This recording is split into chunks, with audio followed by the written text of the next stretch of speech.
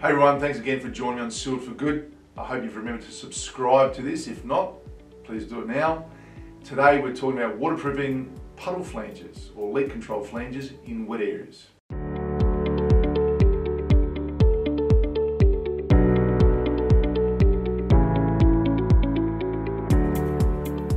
Now, you've heard me talk about leak control flanges many, many times, and those of you that have been to the GAPP courses have seen how it's, such a big part of what we do.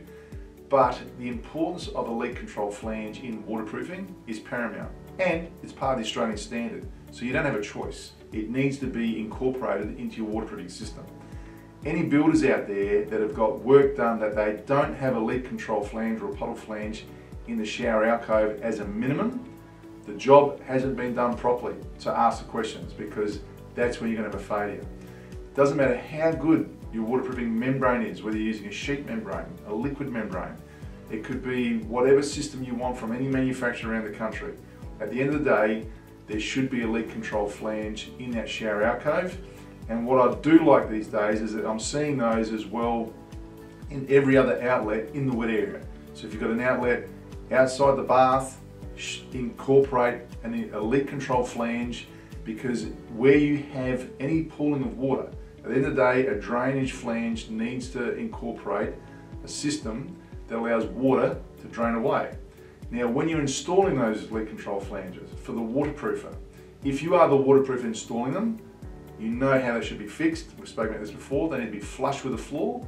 However, if you're working for a client and they tell you they're going to install it, let them know how it should be installed. It shouldn't have a lip, it shouldn't be proud of the floor, it should be flush with the floor. So when you're laying your membrane system, it is very, very easy for the water to run into that flange once the tiler has put his bed down and the job is complete. How to waterproof a leak control flange, a puddle flange? Well, the Gripset system, quite simple. If you are using a liquid membrane system or a sheet system, the best way is our BRW butyl squares they are an instant application. They bridge the edge of the flange to the floor surface. So that is the most critical area. We don't rely on sealants, you don't rely on fillers. It is waterproofed immediately. And the beauty of those butyl squares, if you've ever stuck them to a leak control flange, it is a permanent bond, which is what you want. It's totally sealed, and then you can continue on with the liquid membrane system.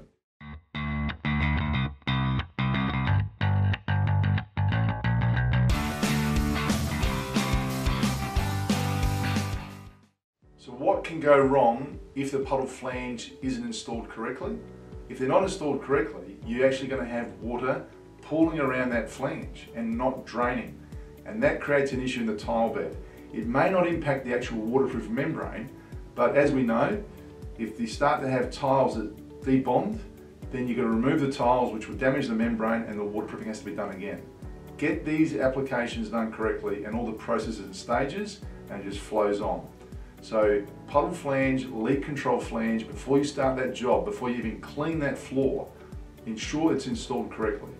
Then do your surface preparation, then the priming, then the detailing, then the Gripset waterproof membrane application.